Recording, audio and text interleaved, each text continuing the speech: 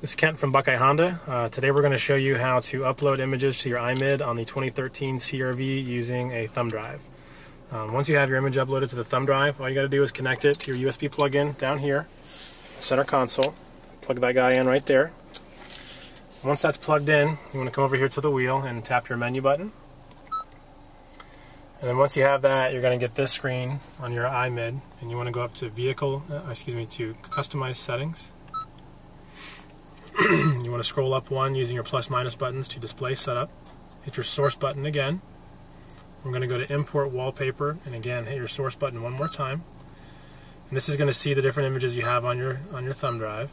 We're going to go down here to car wallpaper. That's the one that we, we created.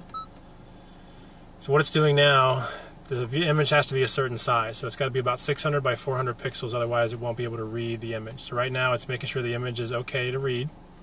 This does take a few seconds to upload, so just be patient. So that's the picture we're going to use today. So I'm going to hit my source button one more time to save the image. It's going to ask you where you want to save it. Hit the OK button or source button one more time. And you can save three different pictures. We're going to save this under image 1.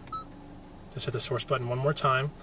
So what it's doing now is actually importing the picture to the hard drive on the vehicle to make sure that we can have that stored on the car. And again, this does take about 10 or 15 seconds, so be patient. And as soon as, as soon as it's uploaded, the image will appear, and I'll show you how to make sure that you have that set uh, on your MID screen.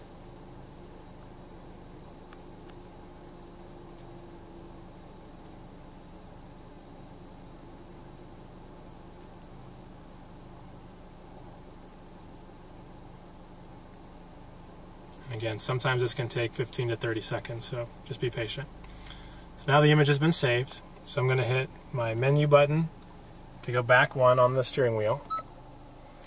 Hit menu again. I'm going to go up to customize settings one more time. Display setup. And now I want to select the wallpaper. So I'm just going to hit the source button again. Go to image one. Hit my menu button one more time. And that's it. And that's how you upload pictures to your iMid.